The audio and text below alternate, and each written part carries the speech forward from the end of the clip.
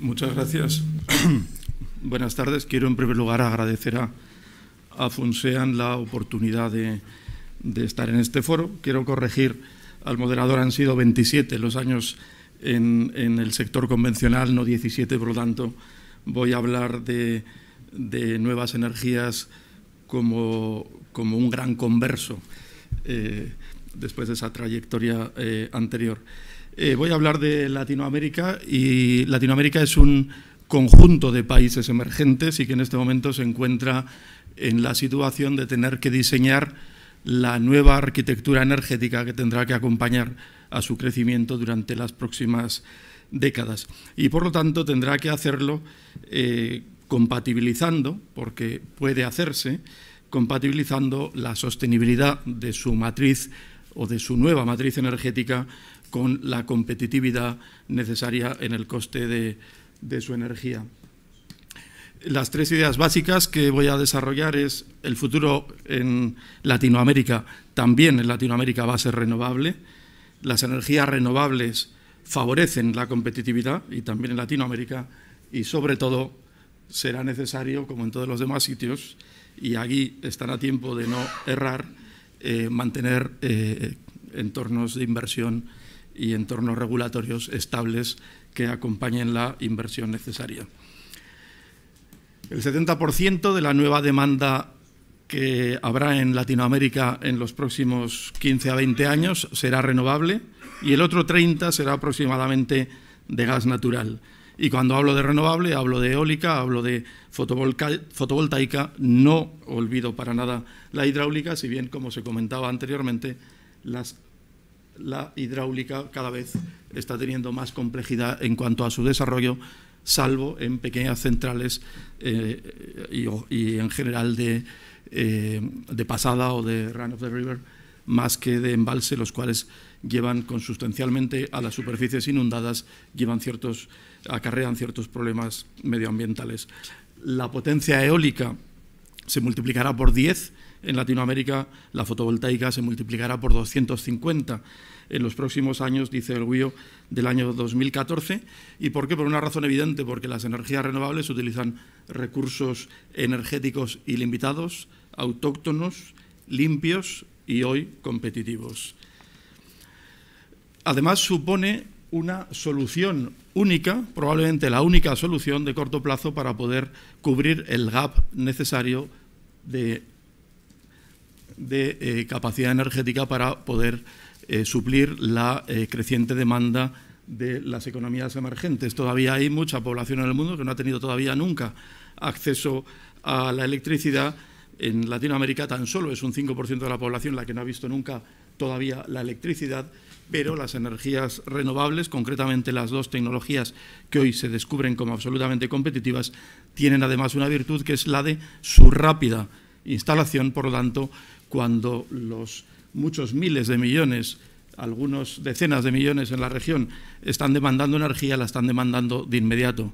No pueden esperar los, los 60 o 70 meses que puede tardar una central hidráulica o los 4 o 5 años de una central de gas o de carbón y por lo tanto tienen que acudir a soluciones eh, rápidas. Es cierto que las energías renovables, eólicas y fotovoltaicas son variables, son eh, no volátiles, son variables pero predecibles, pero recientemente en el Foro Económico de Davos el clúster de energía llevaba a la conclusión de que para los mercados emergentes es mejor la energía variable que la energía ninguna. Además, no hay ninguna duda de que tienen una contribución a la eh, lucha contra el cambio climático. En Latinoamérica se especula que la reducción, eh, una reducción de un 2,5% del PIB y no olvidemos que son economías emergentes que no pueden perder su PIB porque están creciendo en esos términos, se especula con que eh, el aumento de temperatura de dos grados y medio conllevaría una reducción de PIB. Por lo tanto, esto es fuente de, la CEPAL, de la Comisión eh, para Latinoamérica y el Caribe de las Naciones Unidas. Por lo tanto, además, en Latinoamérica las energías renovables tendrían una contribución positiva a no desaparecer o no perder PIB. corre solo. Corre solo, sí. Gracias.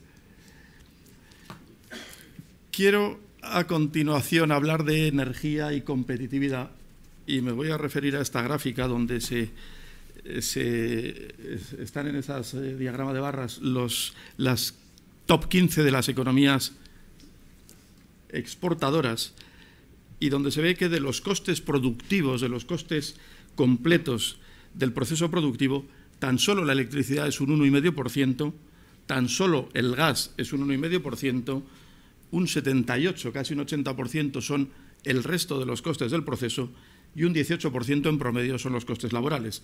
Desde una economía como exportadora como Indonesia, donde los costes laborales son tan solo un 1,39% de los costes totales del producto, o como Alemania, donde los costes laborales son un 29% de los costes totales del producto. ¿Qué quiero decir con esto? Que no es cierto que la pérdida de competitividad de las economías exportadoras sea ligada a los costes de la energía. La competitividad se consigue con calidad en los procesos, se consigue con eficiencia en los procesos, se consigue eh, con, normalización, con calidad. Eh, cinco creo que son de las siete economías más competitivas del mundo son economías europeas, es decir, de costes salariales altos, de costes laborales altos, de costes eh, impositivos y el resto de los costes de los productos altos y, sin embargo, están entre las economías más competitivas precisamente porque tienen innovación, invierten en desarrollo y en, RD y eh, mejoran los procesos. Se ve además en esa gráfica como prácticamente todos los costes de los procesos son iguales en todos los países, siendo la única variable diferencial los costes laborales. Por lo tanto, cuando las economías dicen que pierden competitividad y determinados sectores industriales emigran buscando otro tipo de economías, lo deberán hacer más buscando economías de bajo coste laboral que buscando economías de bajo coste energético, dado el escaso, el escaso impacto que el coste energético, tanto de electricidad como de gas, siendo el gas en todo caso un coste superior, tienen en los procesos productivos. Las energías renovables se van a implantar en Latinoamérica porque hoy son las energías más competitivas de cuantas existen. Esta es una gráfica del Bloomberg New Energy Finance, donde es el Levelized Cost of the Energy, es decir, el coste de la energía eh, equivalente contemplando el coste necesario para amortizar las inversiones y se ve como en los últimos cinco o seis años, la eólica ha descendido en cuanto a su coste de producción de electricidad en un 15%, la fotovoltaica en un 53%, tiene recorrido de tal forma que se prevé que en los próximos 15 años, en los próximos 15 años el coste de la energía producida por la eólica todavía se reduzca en un 35 o por la fotovoltaica todavía se reduzca en un 40, mientras que el coste de la energía producida por gas o por carbón se ha incrementado en un 68 o en un 63% durante ese periodo.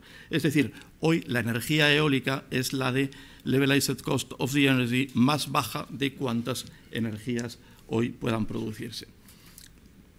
Y lo cual eh, aplica también en Latinoamérica. Esta es una gráfica también de Bloomberg, donde eh, destaca que la energía eólica, que es la línea de puntos azul, o incluso onshore o incluso la energía fotovoltaica es hoy más barata que el precio, su coste de producción es más barata que el precio de la electricidad a los clientes industriales en esas 17 economías latinoamericanas que están ahí listadas, que en definitiva componen del orden del 80% del PIB de la región. Por lo tanto, en Latinoamérica, frente a otras fuentes de energía alternativas, la eólica y la fotovoltaica también van a ser más eficientes. Las energías renovables generan eh, beneficios macroeconómicos. En Europa, 10 eh, billones de euros al año de costes evitados en importación de combustibles fósiles, crean empleo, lo veremos en la lámina a continuación, mejoran la balanza comercial porque evitan importaciones de petróleo que se dedica a quemarse y porque además generan tejido industrial y generan PIB. Un estudio de San Young indica en la Europa de los 27, y esto se puede extrapolar a cualquier otra región que se estudiase, que eh, comparando un ciclo combinado eh, o con, una, eh, con la energía eólica, la energía eólica genera entre empleo directo, indirecto e inducido del orden de una vez más y media de empleo que el equivalente megavatio hora de ciclo combinado, o paga del orden de 2,5 veces o de 2,9 veces más de impuestos que el equivalente a un ciclo combinado. Esto es bastante obvio porque efectivamente el ciclo combinado genera empleo y paga impuestos donde se produce la tecnología, que no suelen ser en las economías emergentes, son en las economías maduras, Japón, Alemania, Estados Unidos, que fabrican turbinas de gas de alta eficiencia, o donde se produce el gas, que tampoco en general suele ser en las economías emergentes o en las economías europeas. Ahora bien, eh, es crítico, será crítico en Latinoamérica, y en eso los reguladores latinoamericanos lo saben bien, será crítico mantener entornos de inversión estables. Un trillón de dólares se invertirá en Latinoamérica en los próximos años en el sector eléctrico, prácticamente la mitad en T&D y prácticamente la otra mitad en energía, y esta será en energía renovable, fundamentalmente eólica, fotovoltaica y también hidráulica, más mini hidráulica que hidráulica de gran embalse. Nuestra compañía, que opera en el mundo casi 9.000 megavatios de potencia de fuente solamente renovable, lo sabe bien y por eso estamos operando activos en Latinoamérica. En México somos el primer operador eólico en este momento con 557 megavatios en la zona del el istmo de Oaxaca. La energía la vendemos a, a la CFE, Comisión Federal, o a CEMEX.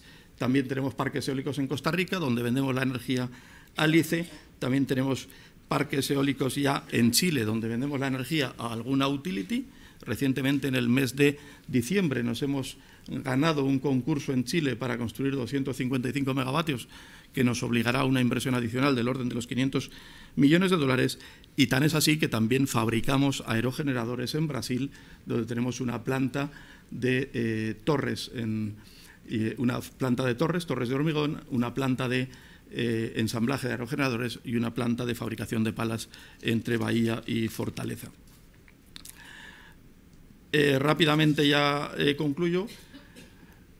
Los países con entornos más seguros en términos de regulación atraerán más inversiones. Hace falta soporte, no incentivo. los operadores renovables no estamos pidiendo dinero, no estamos pidiendo tarifa, hace falta soporte, estabilidad no dinero, repito, la energía renovable hoy, no la anterior, pero es más barata que cualquier otra fuente de energía, por tanto no estamos planteando feeding tariffs ni cosas parecidas, sino estabilidad regulatoria, transparencia en los procesos, eh, transparencia en los permisos y acceso a la red, y con eso la financiabilidad vendrá. Hoy se plantea la energía renovable como la energía más financiable de cuantas fuentes hoy existen, porque es una energía exenta de riesgos. No tiene riesgo de despacho porque despacha en, carga base, o sea, perdón, despacha con prioridad de acceso, no tiene riesgo de, precio porque no está sujeta a la volatilidad de los precios de commodities, no tiene riesgo regulatorio. En caso de que tenga un PPA de largo plazo, no tiene riesgo tecnológico hoy porque es una tecnología absolutamente madura y hoy se descubre como la única inversión energética capaz de entregar un dividendo estable a los y seguro a los inversores. Por eso la financiabilidad en ningún caso hoy es un inconveniente. Latinoamérica formará parte de la nueva transición hacia el nuevo modelo energético. No cabe duda de que, de la misma manera que el carbón eh, desplazó a la madera o a la leña y de que el petróleo desplazó al carbón y el gas al petróleo y la nuclear al gas, hoy la renovable se plantea como una nueva transición energética y Latinoamérica eh, que está en el momento de diseño de o rediseño de su nueva arquitectura energética, no va a ser ajeno a eso. Por lo tanto, quiero concluir diciendo el 70% de la nueva demanda energética de Latinoamérica en los próximos 15 a 20 años será renovable, medio trillón de dólares de inversión será en renovable. ¿Por qué? Porque es respetuosa, competitiva, genera economía, genera empleo local y además favorece la, independencia energética. El 80% de o los países que eh, suponen el 80% del PIB de Latinoamérica tienen hoy un coste de producción eólico o fotovoltaico inferior a cualquier fuente alternativa a ella y además los reguladores creo que después tendremos una charla del regulador mexicano, los reguladores en determinadas economías latinoamericanas, por no decir en casi todas, han entendido que solo los entornos regulatorios estables favorecen la inversión. Nada más, eh, muchas gracias por su atención.